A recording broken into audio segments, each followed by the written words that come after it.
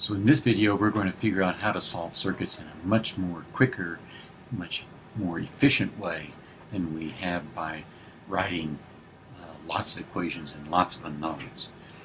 And the way to see how that could be is by asking a rather interesting question. What does the source see? And of course uh, voltage sources and current sources don't have eyes, but I'll show you what that means. When you go down the path of asking what the source sees, that leads to the concept of equivalent circuits, one of the most powerful concepts in circuit theory. And we'll explore series and parallel combinations and learn how to think about circuits in terms of these uh, structural components. Let's go back to our example that we uh, did last time. Uh, the, uh, we have a series combination of resistors and a voltage source. And what we calculated last time was the output voltage was proportional to the input voltage with the constant proportionality that's the resistor R2 divided by R1 plus R2. And this, uh, as I pointed out last time, is called voltage divider. And that applies anytime you have a series combination of resistors and you apply a voltage across them voltage across one of them is that resistance divided by the sum of the resistances. That's a rule that you can use to simplify your life.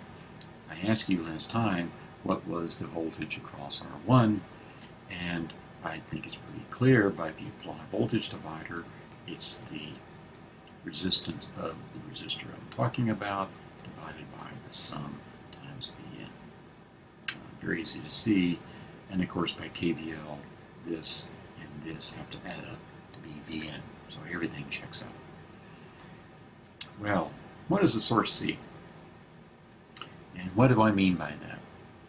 The voltage source, in this case, certainly um, uh, knows what its voltage is.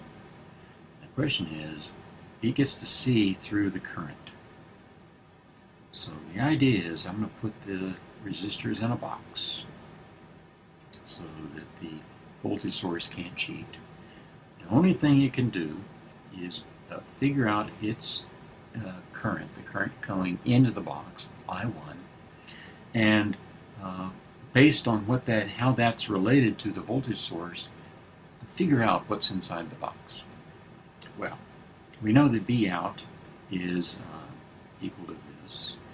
And we want to know the current I1, but KCL says that I1 is equal to I out. That's the way it always works out for a series combination. The current goes straight through them, and so it's easy to see the currents are all the same.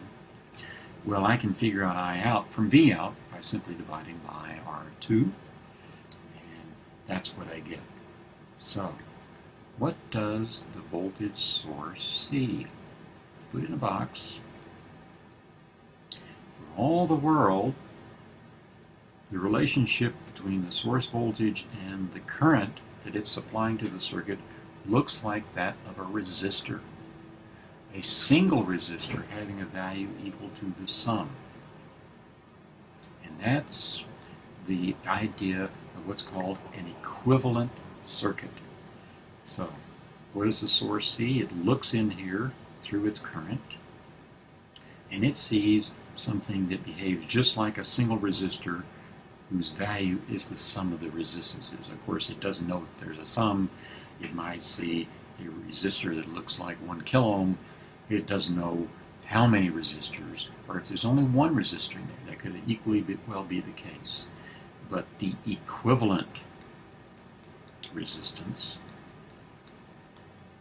of a series combination is the sum of the resistances. You can really use that to simplify your calculations for circuits. And by the way, this result all comes from the VI relations, KVL, and KCL, putting them in a much more concise, understandable form when we think about equivalent circuits. So, like I said, it's a single resistor. Now, let's try another simple circuit.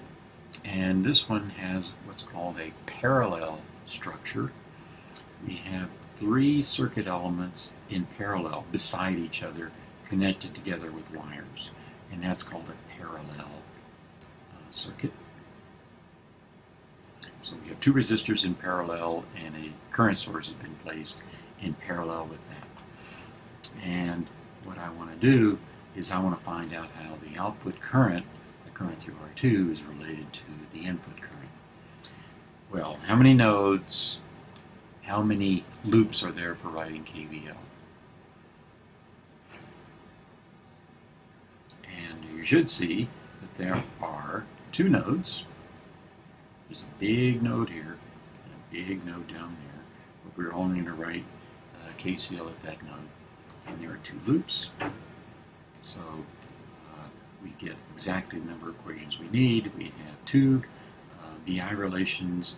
Uh, the, and the third one is the for the current source. We have the KCL equation. One KCL equation, we have two uh, KVL equations. One thing to point out is that when you have um, resistors in parallel, it's pretty clear that the voltage across them, each of them is the same. And since the current source is in parallel with that, all the voltages here, all the voltages are equal to each other. So that's not really a question. The question is, what is this current and how it's related to IN? Well, all we have to do is uh, put it all together. Uh, it's not hard to show that this is the result. And the way you do that is by um, looking at this uh, set of equations here, the VI relations. Because these two voltages are equal, these two quantities are equal. And I can substitute for I1 in this equation by solving this set for I1. What I get is I1 is equal to R2 over R1 times I out. And if I substitute that in there and solve, I will get this result. And this is known as current divider, as you might expect. So in a parallel circuit, if you have a current going in, it splits between the two resistors such that the, the current through this resistor is the other, the value of the other resistor divided by the sum. And so it works in a similar way to voltage divider, except it's not the resistance of the element you're talking about, it's the other resistor. Okay. So, uh, what does this look like? Well, again, because uh, we get that for the input-output relationship, well, the only way the the current source can see what's going on is to look at its voltage. Well, that voltage is just that. Well, that's again the VI relationship for a resistor.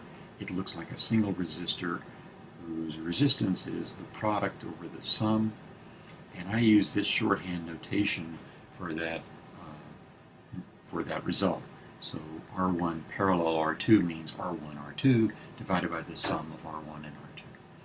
So again, what the source sees is a single resistor. It does not know that there are two resistors in there. All it can tell, it looks like one resistor. So the, the series and parallel uh, combination structures are very important to recognize to help you simplify and see what's going on. So let's go through this little exercise here. I'm not going to tell you if I'm what kind of source I'm going to attach out here.